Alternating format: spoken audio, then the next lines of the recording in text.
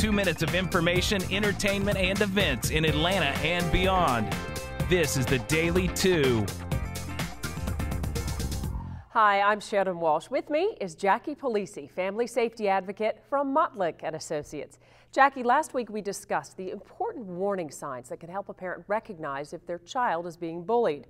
So what happens if a parent discovers that their child is being bullied? What should they do then? Experts advise that you focus on your child first.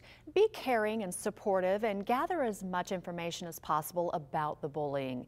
Then make school administrators aware of the situation. Tell them that you want to work together to help stop the bullying for the sake of your child and other students.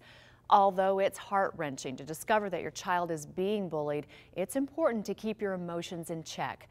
You don't want to react in a way that might make the situation worse. Many experts suggest that you not contact the parents of the student bullying your child. Let school officials handle that. Another step you can take is to help your child become more resilient to any future bullying.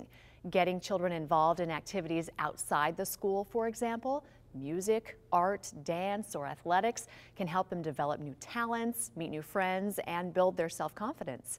Enrolling your child in a martial arts program such as Taekwondo is a great way to build your child's own defenses and make them less prone to bullying.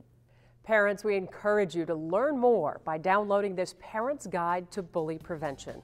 To get your copy and sign up for the firm's free safety alerts, just log on to montlick.com and click on Family Safety and Legal Tips. I'm Shannon Walsh with the Daily 2. For more information and to get more of the Daily 2, log on to WSBTV.com slash Daily 2.